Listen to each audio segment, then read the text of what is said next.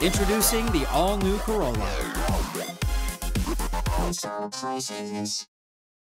You know, this is not, something new. Uh, in my first, uh, uh, again, effort to, to run for governor, uh, he was uh, my opponent. And it was a closely fought contest four years ago with the Calvo Tenorio team edging out the former two term governor.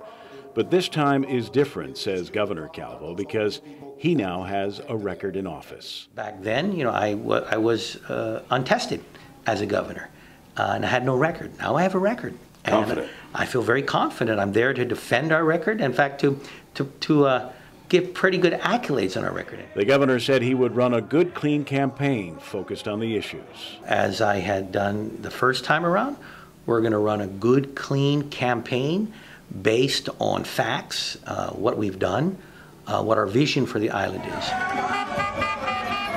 But he also made it clear that during this campaign, he will again raise Gutierrez's record in office and ask voters to compare. I'm ready to, to have a debate uh, with the former governor on, on where we stand in our vision for the future of Guam and also his track record as governor. He was there eight years, and I'm there, for, and I've been there four years. And uh, again, uh, he's going to have to stand up for his record, and I'm going to stand up for mine want to see a better future for our island. Kevin Kerrigan, PNC News.